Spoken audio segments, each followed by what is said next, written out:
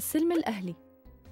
السلم الأهلي هو مفهوم مرتبط بالعيش المشترك والأمن الاجتماعي بالمجتمعات يلي فيها تنوع ديني وعرقي وتباين عميق بالمواقف السياسية والاجتماعية.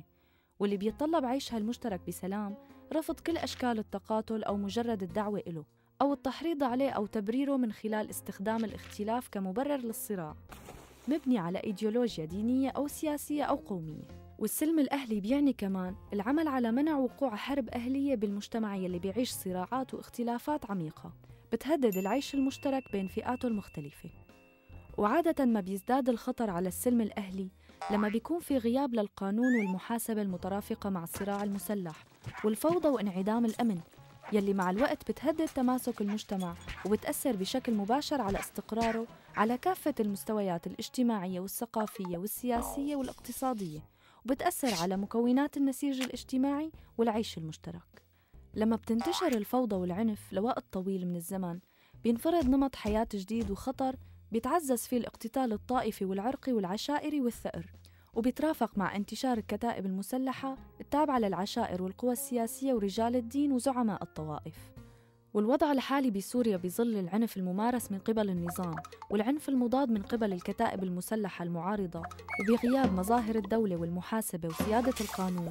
بشكل بيئة مثالية لانتشار العصابات والجريمة المنظمة والانتهازية وعدم الاكتراث. وبهيك بيئة بيصير الخطاب الطائفي والعرقي وتجريم الاختلاف مقدمة لتبرير قتل الآخر المختلف واستخدام هالخطاب لحشد وتجنيد طرف ضد آخر. وبالتالي بيصير المجتمع منقسم ومقتتل وبتزيد فرص الحرب الأهلية مثل ما صار ببلدان مجاورة مثل العراق ولبنان.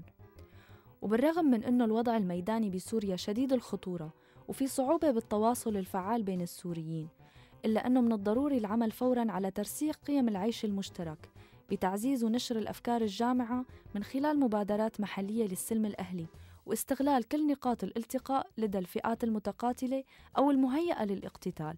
والعمل وفق مخطط تدريجي على نزع بؤر التوتر والاقتتال وتوفير الأرضية الجامعة والمشتركة. تعزيز السلم الأهلي بيتطلب كوادر مهنية مدربة من فئات المجتمع المختلفة واللي لازم تكون ممثلة لكل التنوع الديني والطائفي والقومي والسياسي والجغرافي بسوريا. ومن شرائح عمرية مختلفة فيها الشباب وفيها الشيوخ من الرجال والنساء. وكمان توظيف الإعلام المتاح ووسائل التواصل الاجتماعي لنشر الوعي والقصص الواقعية يلي بتحكي عن العيش المشترك والأعمال الإيجابية وبتعزز الانتماء للبلد الجامع لكل الاختلافات. ودور الفعاليات الاجتماعية والوجهاء وقادة الرأي والفنانين كتير مهم بهيك عملية بالإضافة لمنظمات المجتمع المدني وهيئات الإغاثة والجمعيات الخيرية. والتشبيك بين كل الجهات لتعزيز ثقافة السلم الأهلي الاجتماعي داخل المجتمع السوري وترسيخ مفاهيم الحوار وتقبل الآخر بعيداً عن العنف. والتركيز على ثقافة التسامح بين أفراد المجتمع والأهم من هيك العمل على إيجاد حلول مؤقتة لوقف الاقتتال أو تحييد المناطق المدنية والتجمعات السكانية. والعمل على مبادرات وطنية بتوقف القتل وبتطلق مبادرات للمحاسبة. مع التركيز على الدور الإعلامي بتعزيز المشاركة السياسية من خلال البرامج والحملات الإعلامية وتوقيف كافة الحملات والبرامج اللي ممكن أنه تزيد من حالة العنف والإقتتال وتحرض عليه.